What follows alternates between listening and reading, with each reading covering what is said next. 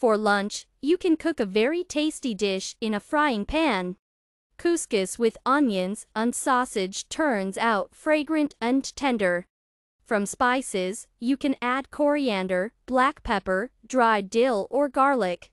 This dish can be eaten as a second course after borscht or pickle, or for dinner as a main course.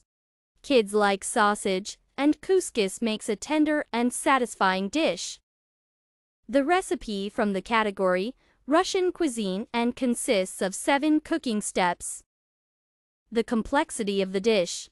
Medium. Pour the couscous into a deep bowl.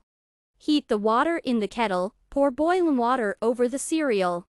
Cover with a lid for 5 minutes. Peel the onion, cut into small pieces with a knife. Boiled sausage is cut into small cubes. Fry the onion and sausage in vegetable oil for 5 minutes. Then pour out the steamed couscous along with the remaining liquid.